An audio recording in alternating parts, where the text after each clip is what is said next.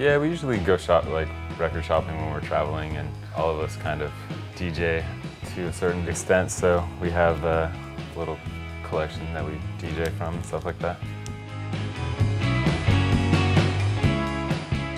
To carry around a piece of paper in my wallet that had a bunch of stuff that I was looking for. But I lost it and now I, I never know what I'm looking for. So I, I end up getting records like Bad Man, No Friend Man.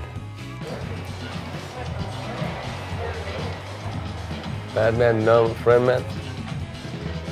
Did you listen to it? Getting this book of Persian poetry, kind of get in touch with my roots a little bit.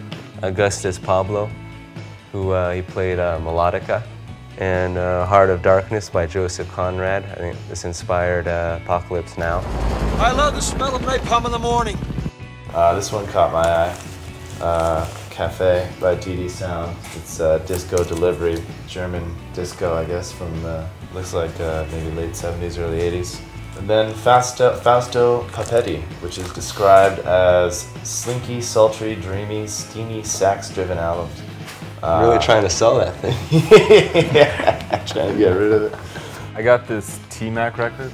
The owner of the shop is playing a song that I liked off of it. Looks pretty good. Got a good style. Sergio Mendes record, Crystal Illusions. It's like an Australian press and it looks like it has a cover of Sitting on the Dock of the Bay and then it has a Marcos Valle cover as well. So check that out. I don't know what this is, but looks really nice. 71 seems like a good time period for this could be good, but I probably want to hear it. 10 bucks, not so bad. I was thinking about getting this just because it's got this really great Lennie Hibbert song called The Creation, or More Creation, sorry. I was talking to the guy next door, and he released this surf book. Flipped through it and it had a lot of photos that I've been looking for. I also had a Rum Diaries. We just got back from Puerto Rico. I thought that'd be a nice read. I missed that one growing up. Hey. So maybe that would be good. You know, it's light, we're traveling.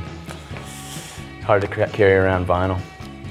Easier to carry than this SOB right here, that's for sure. Yeah. Light airplane read.